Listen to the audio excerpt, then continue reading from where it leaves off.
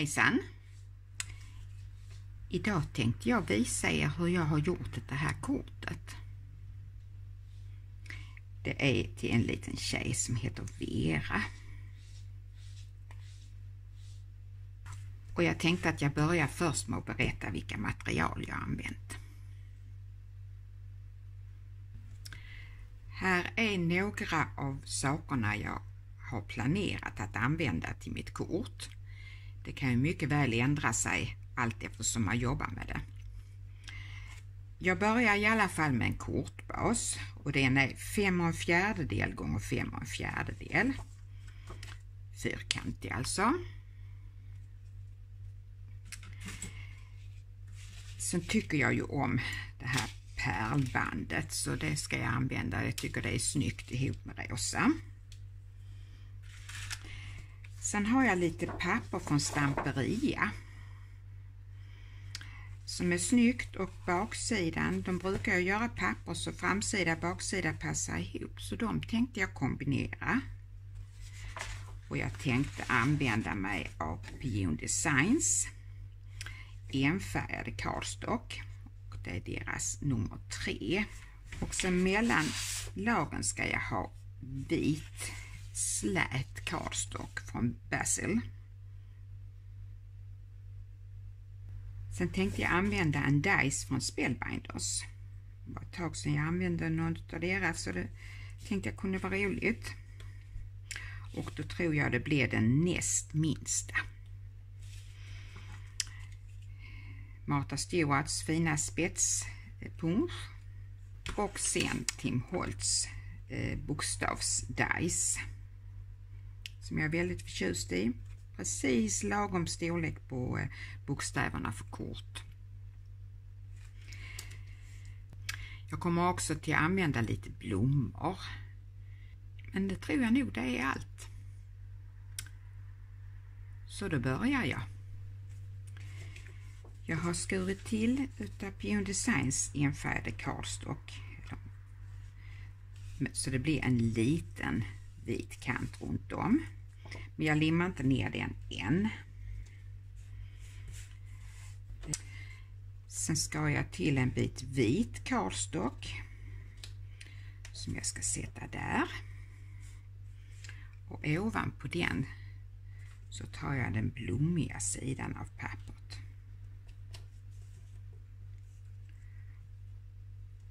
Jag tycker man behöver inte ha så stor kant runt om det blir ändå effektfullt.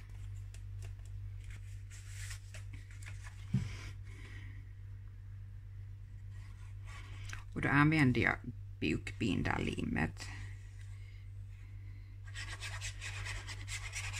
Det är hållbart och man behöver inte ha så mycket. Och sen försöker jag sätta den i mitten. Så det blir ungefär lika mycket runt om.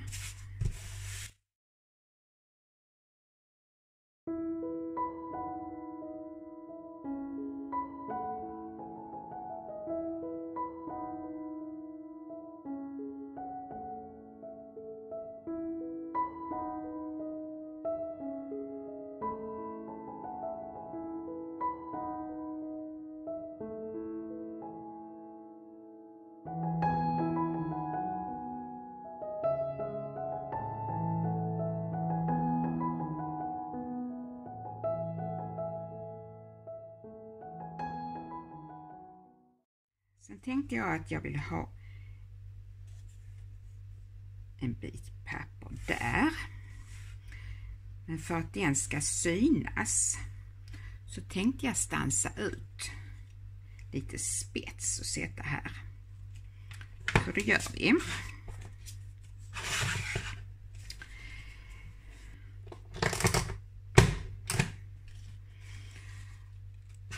Och sen flyttar man det stansade så att den kommer över det mönstret. Så kan ni se. Ni ser så ser det ut. Och här är ett mönster. Och sen ska det bli exakt under det stansade. Och det betyder det att det liksom flyter på.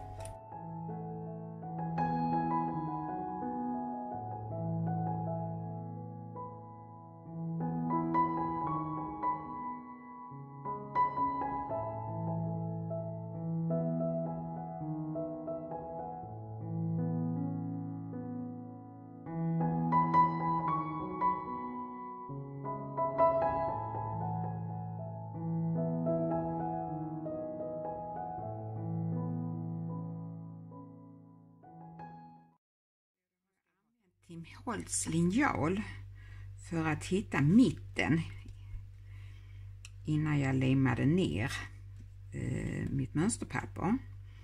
Det är ju en markering i mitten på hans linjal, en nolla. Och man behöver inte kunna räkna utan man bara titta här Det ska vara samma avstånd som nu trean. Det ska vara samma avstånd till kortets kant som på den sidan och då är det i mitten och sen limmade jag ner den biten där. Sen har vi de här, vi behöver inte den längre. Då tänkte jag att jag limmar dem så.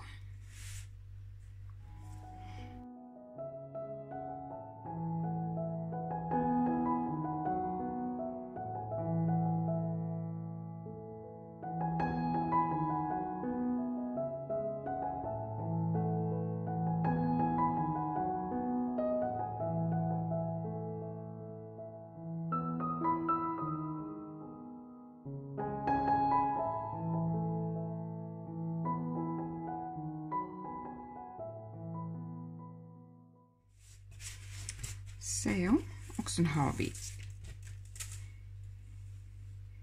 den som jag tänkte jag sätter där.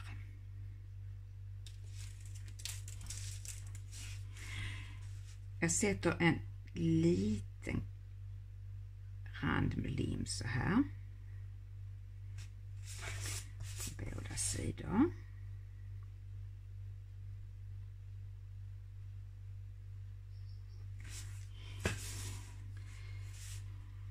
kanske lite mycket där. Och sen låter jag det bara vara några sekunder eller så. Så att det börjar torka lite.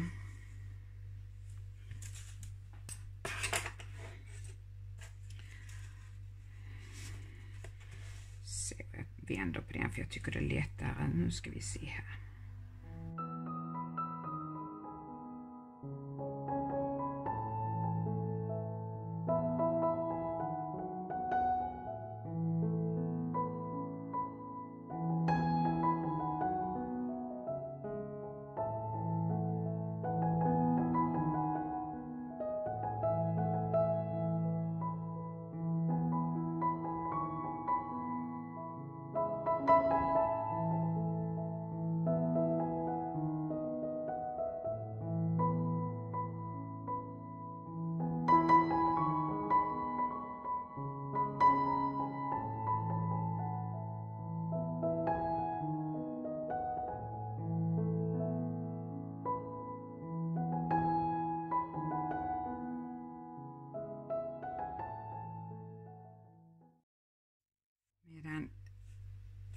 Pärlorna torkar så kan jag ju stansa ut.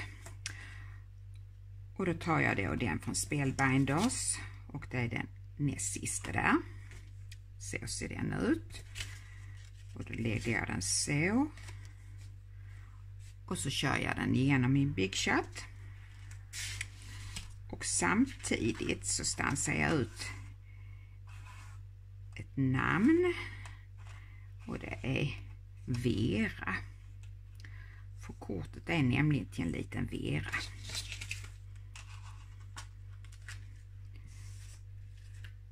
Så då går jag och gör det.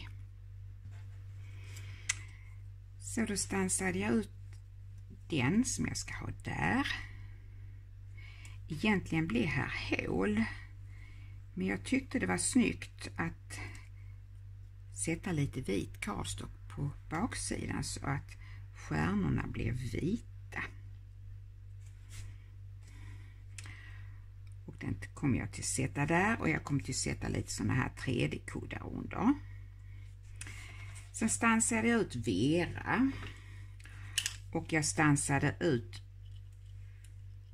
med dubbla, alltså två utav varje.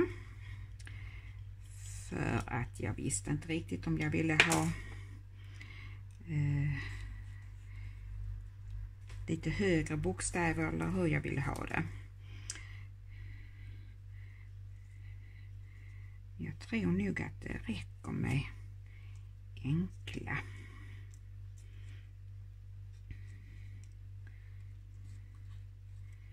Lite svårt att få det rätt.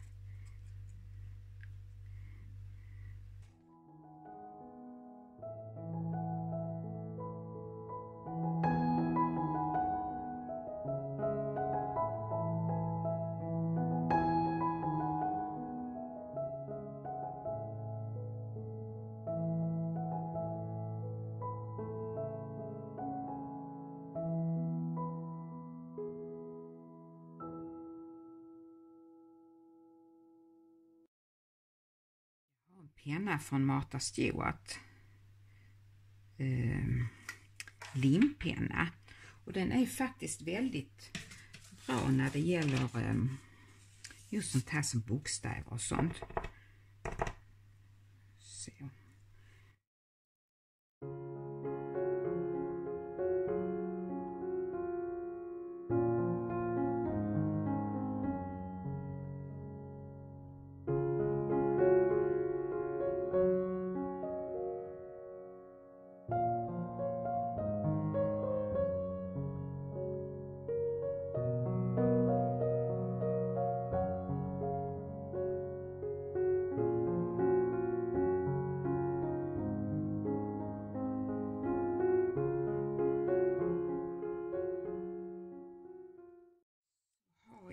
Bit som blir över när jag stansade spetsen. Jag tänkte det kanske inte blir så dumt om man sätter den där i mitten. Vad tror ni om det?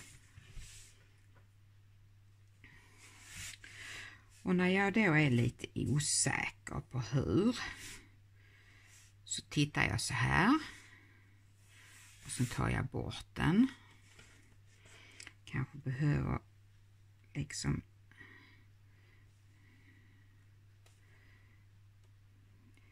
så kan man ju liksom då fråga sig, tillför den någonting? Eller inte? Och jag tycker nog att den gör det, faktiskt. Jag kan ju låta den vara så så länge så kan jag ju plocka fram de blommorna jag tänkte använda mig av.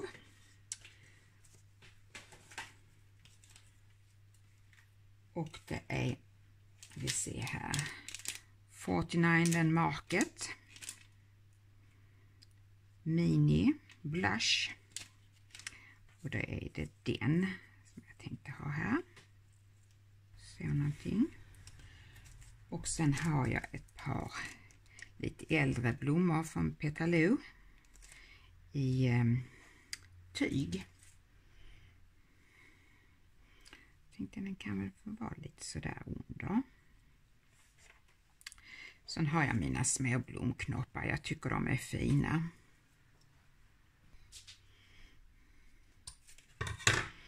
Så tänkte jag att den ena kan väl komma här då.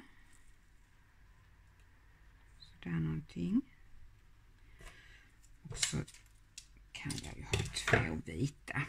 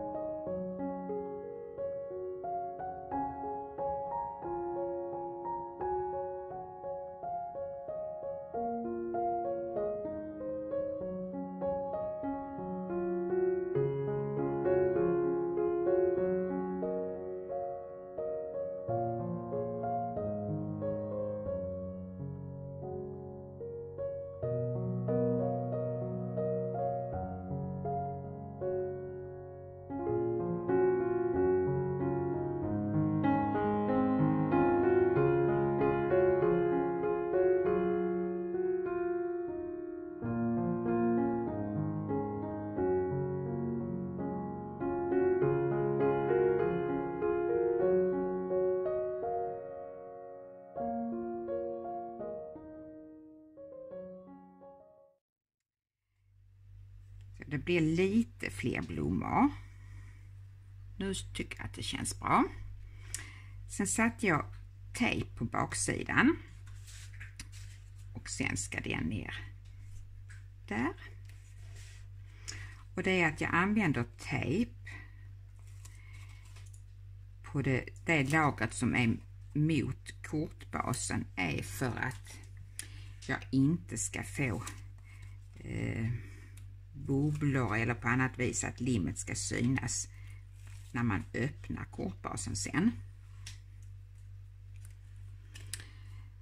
Se här så, men så sätter jag lite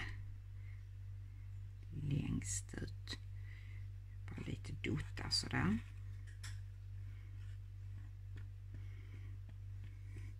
Som bokbindarlimmet är ju Alltså det är ett bra lim för det blir inte bubbligt och så här av det. Nu ska vi få dit det ordentligt. Ska vi se här.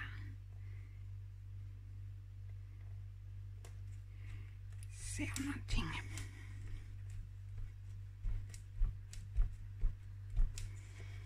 Sådär.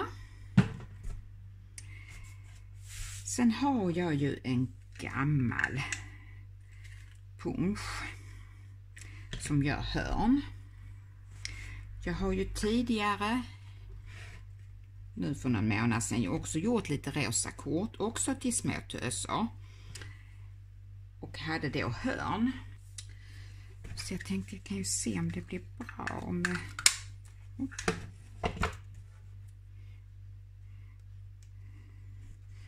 Det brukar göra jättemycket när man sätter dem så här.